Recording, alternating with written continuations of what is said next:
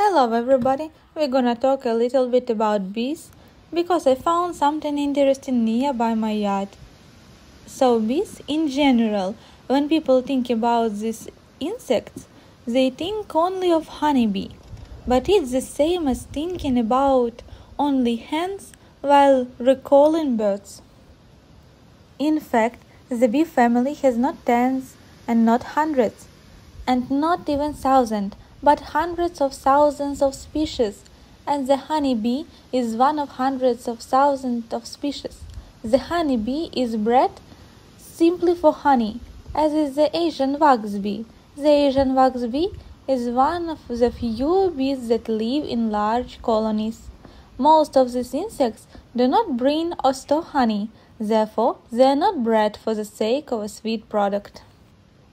They are solitary and they have the common generic name Osmia oh, or mason bee.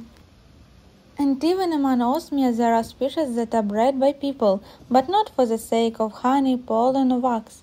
They are bred for pollinate their gardens. There are such Osmia, for example, as Cornuta or Rufa. They settle in hollow holes in wood or in reeds, etc. But the largest family of bees is solitary ground bees, and they are also divided into Andrena and Melitid. Andrena is much larger family. They number tens of thousands of species, and this bee which I am filming now belongs to the Melitid family. There is a relatively small family. There are one or two hundred species in total. This particular osmia from the genus Melitid is called the Pantalon bee. Why Pantalon is clear from its appearance because it seems to be wearing pants. Although at the same time it seems that they collected pollen on their paws. But this bee does not collect pollen on its paws but collects on the belly.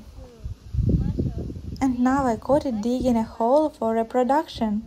The biology of this bee is such that it emerges from the cocoon in midsummer and lives from several weeks to several months. Throughout their lives, they dig holes, carry pollen loaves, or pollen bread to their burrows. Such pieces are made of pollen. They are mixed with honey and put an egg on each such bread, from which the larvae hatches. During the summer and autumn it grows, sheds, develops and turns into a pupa by December. The pupa goes into winter and the development of the pupa resumes in the spring and the pupa turns into an imago. Imago hmm? is an adult bee that reached the final stage of the bee's development. This occurs around the end of June, beginning of July. The bee comes and the cycle repeats again. By the way, the largest bee that exists on the European continent is the carpenter bee. I also have it on my channel in another video. We met them when we were exploring an uninhabited village. There are also osmia, by the way, lives in dead wood. So all these bees, unlike the honey bee and Asian wax bee, which people bred for the sake of obtaining a sweet product, honey, wax, or pollen, they are poorly studied. Not only aren't they studied well, I'll tell you a secret. Scientists don't even know how many species there are in the genus Andren or the same Melitid. There is all the exact systematics of this bees solitary is in future. One more thing, bees make food resolves and these bees simply sleep an unfavorable time in the temperature latitudes in the state of a pupa. That is a win-win option.